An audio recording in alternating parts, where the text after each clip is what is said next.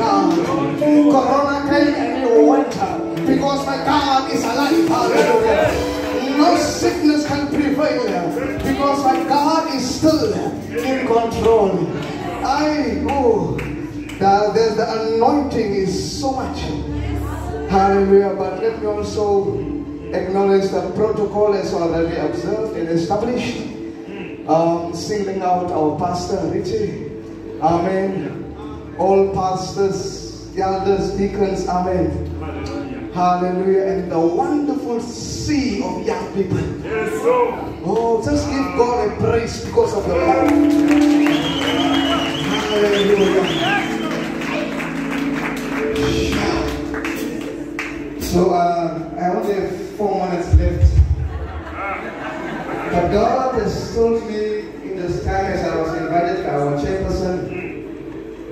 to say this word, and it is that we are at a turning point. Amen. We are at a turning point. Yes, Lord.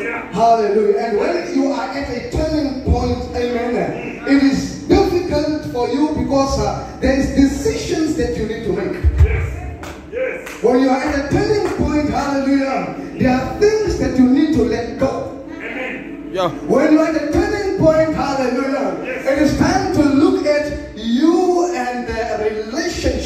you have with God.